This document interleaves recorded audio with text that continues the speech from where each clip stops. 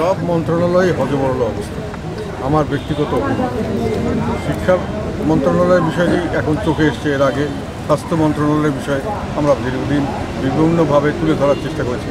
সবখানি অসঙ্গতি এবং সত্যিকার অর্থে যে একটা দেশকে এগিয়ে নিয়ে যাওয়ার জন্য যে, যেটা বেসিক একটা রিকোয়ারমেন্ট মানুষকে হিউম্যান রিসোর্সে পরিণত করার, সেটার মধ্যে প্রথম হলো শিক্ষা, তারপরে স্বাস্থ্য, অথবা স্বাস্থ্য এবং শিক্ষা।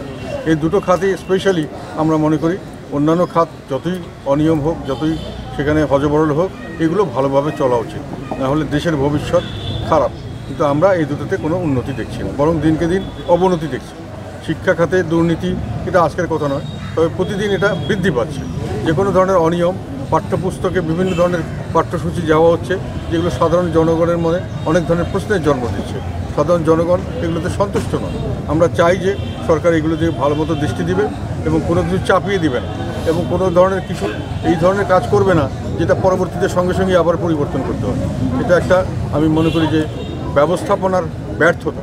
এবং সর্বক্ষেত্রে ব্যর্থতা আছে, কিন্তু এই দুটো সেক্টরে ব্যর্থতা খুব প্রকট হয়েছে এবং এই দুটো আমাদের দেশের ভবিষ্যতের জন্য অত্যন্ত জরুরি, শিক্ষা এবং স্বাস্থ্য।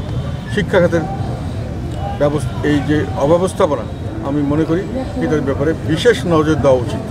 আমার সময় কিন্তু দ্রব্যমূল্য এই রমজানের সময় বৃদ্ধি হয়। এটা আজকে আমি ওপেনলি বলছি, কেউ যদি চ্যালেঞ্জ করেন করতে পারে দ্রব্যমূল্য যদি কিছু কোনোটা বাড়ে, সেটার সুস্পষ্ট কারণ আমি ব্যাখ্যা করছি এবং একেবারে আউট অফ প্রপোর্শন করে কিছু পারে বরং যেটা আমার সময় একটা অদ্ভুত জিনিস হয়েছিল, অনেকে হয়তো ভুলে গেছে সেটা হলো যে রমজানের শুরুর পরের দিকে জিনিসপত্রের দাম কমতে শুরু করেছে।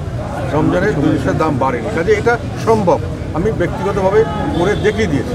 কাজে এখন যদি এটা না হয় তাহলে এর সঙ্গে যারা সংশ্লিষ্ট যারা আছেন, সকলের জন্য দায়ী। দুর্নীতিও অনেক বহুল অংশে দায়ী।